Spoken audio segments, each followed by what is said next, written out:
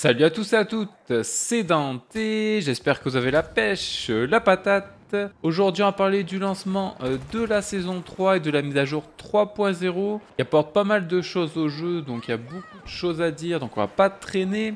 Donc au sommaire, je vais vous faire un recap donc, du contenu qui arrive au lancement de la saison et après on parlera donc de la liste des changements euh, de cette mise à jour. Donc on commence tout de suite avec la saison 3 qui commence donc le 22 novembre, qui apporte donc la nouvelle carte Fer de Lance donc qui se passe en Suède que vous avez pu voir dans la précédente vidéo et que vous verrez aussi aujourd'hui. Le nouveau spécialiste Zane de classe Assaut. Euh, pour rappel, il a donc un trait qui permet de récupérer la santé après un kill, mais si vous prenez des dégâts, euh, ça en fait, ça arrête la régénération. Il a un gadget, donc c'est un genre de petit lance-grenade. Projectile explose dans les airs pour déloger les ennemis derrière les couvertures. Après deux ou trois euh, explosifs, en fait. C'est pas aussi fumé que je le pensais, mais ça reste quand même assez violent en intérieur. Le nouveau pass de combat, donc au niveau des skins, c'est très euh, bleu Keller, gris, blanc. Donc euh, vraiment dans le thème un peu, du côté un peu futuriste et des usines, en fait, qu'on a sur la carte. donc et au niveau des nouvelles armes, nouveaux tanks, etc. Au niveau de la saison. Il y a 30 cosmétiques gratuits, parmi les cosmétiques gratuits, il y en a quand même des très sympas.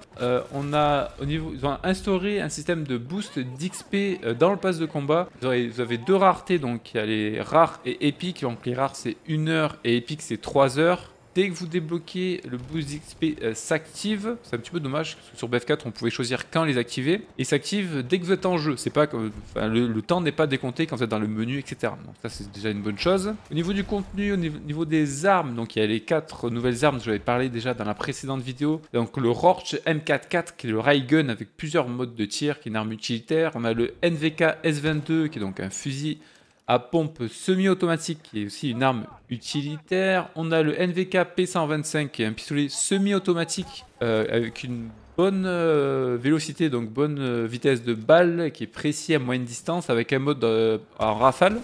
Que j'avais pas parlé dans la précédente vidéo. On a les couteaux de lancer en arme de lancer. Et on a deux armes du coffre au début de la saison, donc le XM8 et le A91 qui sont à débloquer. XM8 qui est donc le fusil mitrailleur de, de Bad Company 2 et l'A91 qui était un pistolet mitrailleur sur BF3. Là je crois que sur 2042 ils l'ont mis en fusil d'assaut, pourquoi pas. Euh, la XM8 donc c'était une arme assez stable et l'A91 au contraire qui était une arme... Euh, euh, pas très stable justement, qui avait tendance un peu à partir sur les côtés, mais qui avait une bonne cadence de tir. L'XM8 d'ailleurs, qui a un rechargement qui est pur, qui va être le, rechargement le plus rapide des fusils mitrailleurs. Donc je pense que ça va être un, un atout pour cette arme. Au niveau du nouveau véhicule, on a le char, le EMKV90, qui est donc euh, un peu le centre, le thème de la saison, qui a un char un petit peu futuriste, qui a deux modes d'utilisation, le mode siège et le mode de mobilité. Donc mode siège, votre véhicule est fixe, mais vous allez avoir une cadence de tir plus élevée. Et un mode mobilité, forcément euh, le but c'est de se déplacer avec. Vous pouvez quand même tirer, je pense, avec quand vous êtes en mode mobilité, mais vous êtes forcément moins de, moins de cadence de tir, moins de puissance. Et le, mode, le véhicule a donc une détection des menaces actives qui détecte la source des attaques euh, à une certaine portée qui affiche donc euh, les ennemis euh, qui le ciblent ou qui l'attaquent sur l'ATH. Alors je suis pas sûr que le char avait vraiment besoin de ça honnêtement, donc ce sera peut-être sujet d'équilibrage dans la prochaine mise à jour en tout cas. Euh, apparemment, l'événement de mi-saison, donc de la saison 3 qui va arriver après la 3.1 qui est prévu mi-décembre, donc ça sera entre mi-décembre et fin décembre. Pas d'infos plus par rapport à ça, mais je vais juste vous communiquer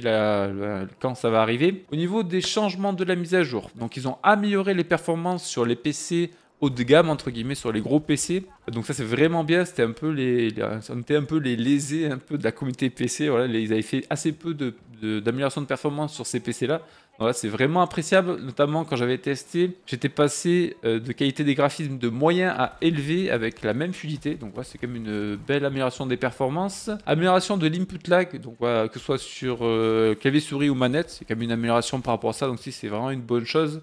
ils ont fait un changement au niveau du repérage, le spotting en anglais. C'est un peu en retour euh, au 3D spotting, en fait, quand vous allez appuyer sur votre touche pour repérer les ennemis, ça va localiser s'il y a des ennemis à proximité. S'il n'y a rien, ça va rien afficher. S'il y a des ennemis à, proximité, ça va donc les détecter. Euh, vous pouvez toujours euh, signaler une zone en appuyant deux fois sur votre touche. Et donc les repérages seront partagés à l'équipe et les signaux seront partagés à l'escouade. Ça permettra d'avoir plus de réactivité au niveau du système et plus de communication au niveau du teamplay, au niveau des joueurs. Et ça permettra d'avoir moins de, signaux qui datent datent de quelques secondes qui, sont donc obsolètes, donc ce sera une meilleure communication, donc ça c'est plutôt cool. Au niveau de l'équilibrage des armes, ils ont donc modifié la distance de lancer du C5. Alors je vous avoue je joue très peu au C5, euh, donc je ne saurais pas vous dire s'ils ont augmenté ou l'ont baissé. N'hésitez pas à me le dire dans les commentaires justement. Ils ont réduit le seuil de dégâts nécessaires pour faire des assistances véhicules, donc ça c'est pas plus mal. La valette maintenant fonctionne bien en tant qu'arme silencieuse, donc vous serez plus marqué notamment... Euh, sur la minimap quand vous tirez avec.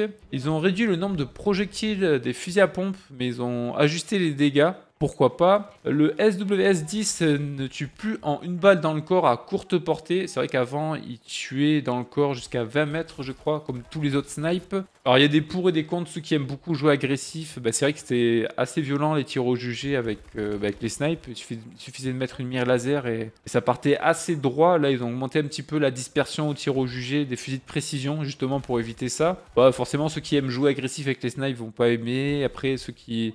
Après, c'est pas un fusil à pompe, hein, c'est quand même un snipe, donc il fallait pas abuser non plus. Mais euh, c'est vraiment à tester, à voir sur la longue durée si vraiment. Euh, après, ils ont pas augmenté de beaucoup la dispersion, hein. c'est de 1 degré. Euh, bon, bon c'est assez dur de juger comme ça. On verra bien ce que ça va donner. Au niveau de l'AK-74U, ils ont augmenté la portée, donc il y a moins de perte de puissance suivant la portée. La 26, par contre, a donc perdu un peu de portée, donc un, un, peu, un peu moins de puissance suivant la distance. Ils ont augmenté les dégâts du NTW50 contre les véhicules, donc c'est le sniper anti-véhicule justement. Ah, donc avec les munitions euh, perforantes, ils ont réduit la distance de one shot avec le NTW50 euh, dans le corps, donc de 150 à 100 mètres. Ça aussi, c'est une bonne chose. Réduction des dégâts du M60 entre 50 et 75 mètres. Donc avant, il faisait 28 de dégâts et ça a descendu à 22. Donc ça reste quand même euh, assez fort. C'est quand même 5 balles dans le corps et 3 dans la tête. Donc ça reste quand même une bonne arme à moyenne portée. Augmenté euh, donc la portée, donc la puissance du M1911 et du MP412. Ils ont dit qu'il y aurait moins de perte de puissance jusqu'à 30 mètres pour le M1911 et jusqu'à 40 mètres avec le MP412. C'est vrai que c'est c'était assez peu maintenant, c'est vraiment une bonne chose qu'ils ont augmenté un peu la portée sur ces deux armes-là. Là, c'est 42, ils ont augmenté la cadence de tir. C'est vrai que c'est une arme qu'on voyait très peu. Donc, ils ont essayé d'augmenter la cadence de tir pour qu'elle soit un peu plus efficace. Le PP29, ils ont augmenté la portée aussi, euh, donc moins de dégâts, moins de perte de dégâts suivant la distance. Le S-Phare, ils ont réduit les dégâts entre 50 et 75 mètres, un peu comme le M60. Donc, il est passé de 28 de dégâts à 22. Donc, en gros, il faut une balle de plus dans le corps dans la tête euh, pour tuer. Enfin, ils ont réduit le recul de plusieurs armes sur Battlefield Portal. Alors, à mon avis, c'est sur les expériences euh, quand vous utilisez les soldats de Bad Company 2, BF3 et de 1942. Ils ont amélioré donc l'effet sonore des armes. Alors, c'est difficile de juger, on verra bien par la suite. Si vous, voyez qu'il y a des changements au niveau des sons des armes, euh, c'est pour ça. Au niveau des personnages, ils ont amélioré les animations des personnages, ils ont amélioré la réactivité des mouvements, donc des sauts, franchissement d'obstacles, glissade, euh, montée, descente d'échelle et le déploiement du parachute. Donc ça aussi, c'est quand même une bonne chose. Et ils ont rajouté l'icône de réparation, euh, que vous soyez un G avec un outil, que vous soyez avec un outil de réparation ou avec un véhicule qui a besoin de réparation vous avez les icônes de réparation qui sont affichées au-dessus, euh, donc des personnes qui peuvent vous réparer ou des véhicules qui ont besoin euh, de réparation.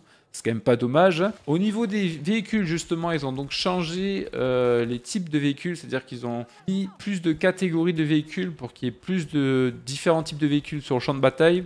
donc il y a plusieurs sections. Maintenant, il y a donc les transports légers, donc ça c'est la Jeep et l'aéroglisseur, ça ça ne change pas.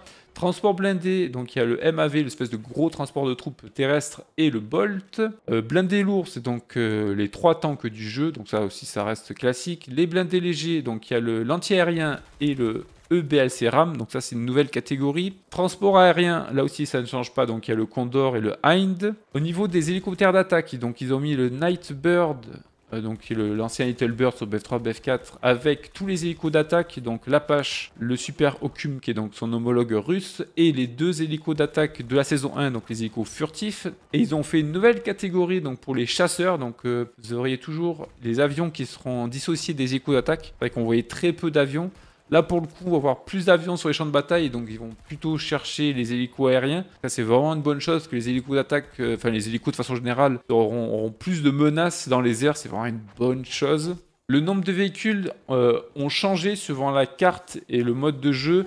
Par exemple, sur la nouvelle carte en conquête 128 joueurs, il y a 4 transports légers, un transport blindé, euh, un blindé léger, blindés lourds, un transport aérien, un hélico d'attaque et un chasseur par équipe. Euh, donc ça fait pas mal, plus les petits les jeeps, les squads, et etc. sur la carte. Euh, donc ça permettra un peu plus de variété au niveau des véhicules et notamment plus d'avions, notamment dans les airs qui vont pouvoir chasser un peu tous ces véhicules aériens donc ça, résulte moins d'hélicos sur l'infanterie et ça c'est une très très bonne chose. Et enfin ils ont corrigé donc les missiles anti-chars qui ne pouvaient pas tirer contre les véhicules aériens ciblés au saut-flamme et vice versa pour les missiles anti-aériens qui ne pouvaient pas cibler les véhicules au sol.